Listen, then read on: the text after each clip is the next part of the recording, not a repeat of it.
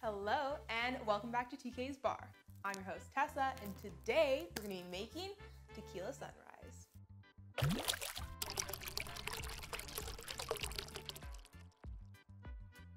You might be wondering why I have a Corona bottle here then.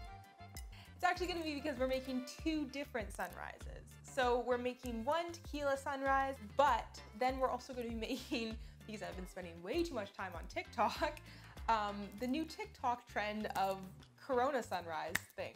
I don't think it has a name, but we'll just call it a Corona sunrise. So I'll put the TikTok right here beside me, but I know that the first thing that she does is open the bottle. So we'll start by doing that while you guys can watch. And then unfortunately, we have to drink up to here.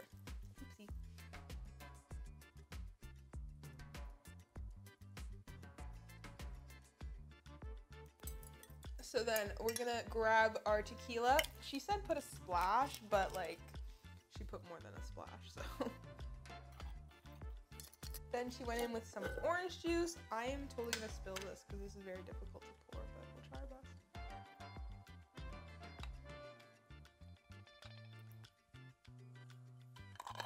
Clean up the mess.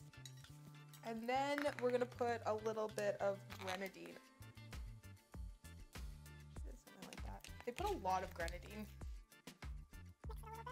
And then throw a lime on there.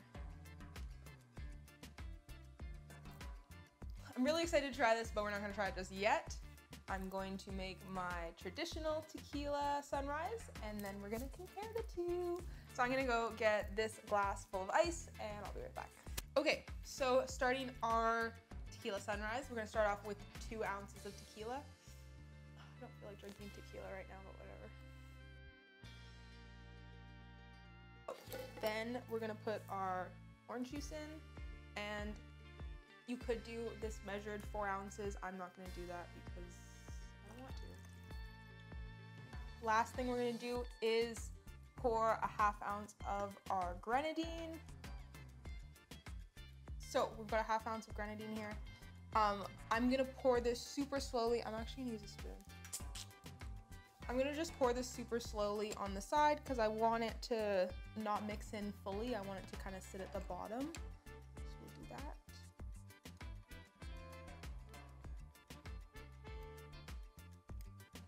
Perfect. Then we're gonna garnish with an orange slice. I'm gonna throw that on the side and then a maraschino cherry. Grab a maraschino cherry and throw that on the side. Stay up. Perfect. And there we've got our two finished cocktails. Last thing we have to do is just try these. I'm gonna take the lime out of this one because it's like about to overflow. And let's take a taste. Um, we'll try this one first.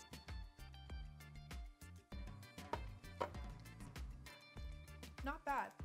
Um, you can still taste the Corona a little bit, but I think it's really good. It kind of reminds me of like, I know it's like not at all the same, but like we serve like, I think it's called a, a bulldog. We've got a different name for it at my restaurant, but it's like the margarita with the tequila in it, or with the Corona bottle in it. Um, it kind of reminds me of that, but a bit more like fruity with the grenadine and the orange juice, but it's kind of got that vibe.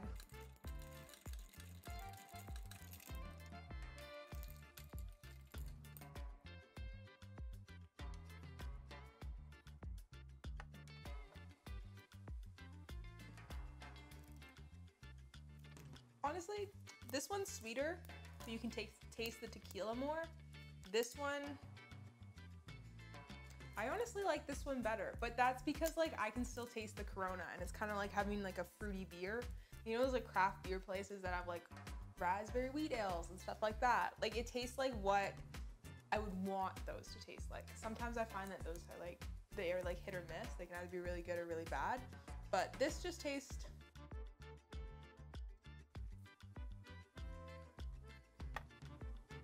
Yeah, this just tastes like a fruity beer, but